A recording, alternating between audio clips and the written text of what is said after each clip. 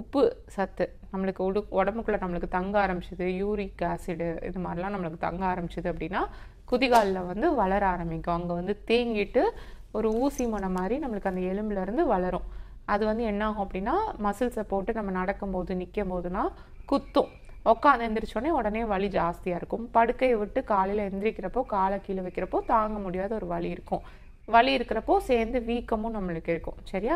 இதுக்கு வந்து என்ன பண்ணுறீங்கன்னா செங்கல் இருக்குது பார்த்தீங்களா அந்த செங்கலை நல்லா ஹீட் பண்ணிடுங்க நல்லா பழுக்க காய்ச்சின செங்கல் எடுத்து வச்சுட்டு அதில் வந்து ஒரு பத்து பதினஞ்சு எருக்கிளை பழுத்த இலையாக நல்ல மஞ்சள் கலரில் இருக்கக்கூடிய அந்த எருக்க இலையை எடுத்து அது மேலே நல்லா வரிசையாக அடுக்கி வச்சிருங்க.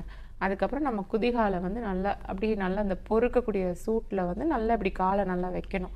அப்படி ஒரு மூணு தடவை நாலு தடவை பண்ணீங்க அப்படின்னாவே நம்மளுக்கு அந்த குதிகாலில் வந்து கூர்மையாக வளர்ந்துட்டு இருக்கக்கூடிய அந்த எலும்பு இருக்குது பார்த்தீங்களா அது நம்மளுக்கு மொன்னையாயிரும் பிளண்ட் ஆயிரும் அது. அதோடைய வளர்ச்சி நம்மளுக்கு தடுக்கப்பட்டுரும். அது தடுத்துருச்சு அப்படின்னாவே உங்களுக்கு திருப்பி வலி இருக்காது.